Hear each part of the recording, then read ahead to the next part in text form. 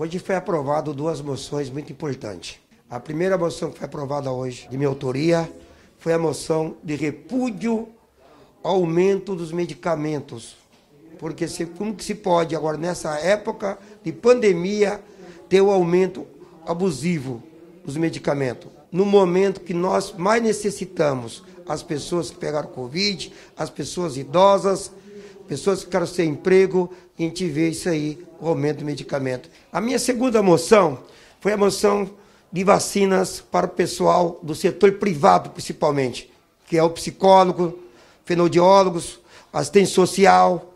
É um pessoal que também que está na linha de frente, porque eles também atendem os pacientes. Os pacientes que ficam com sequelas do coronavírus têm que passar por esses profissionais. Então, como mais justo, eles também tomaram essa vacina.